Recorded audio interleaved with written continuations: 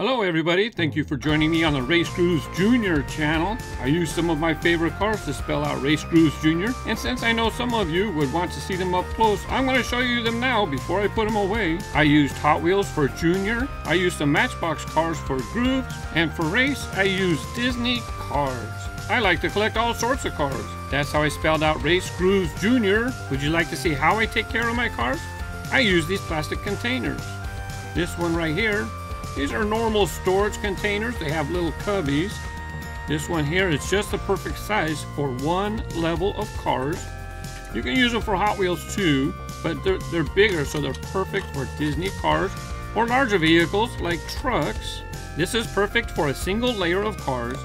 Now, if you have cars that are even larger, you look underneath, you see that pink, green, and orange? Those are really big. So I use this deeper container I lay them on their side and they're nice and safe.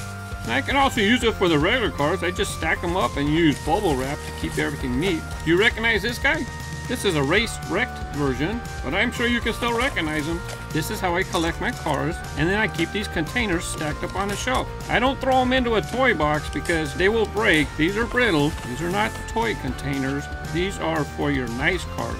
Hey Mater, what you doing in there? You can find these multi-compartment storage containers at lots of different stores that sell containers. However, this one here, you might not be able to find this one at all stores, so I have a link in the description below if you'd like to find out how to find them.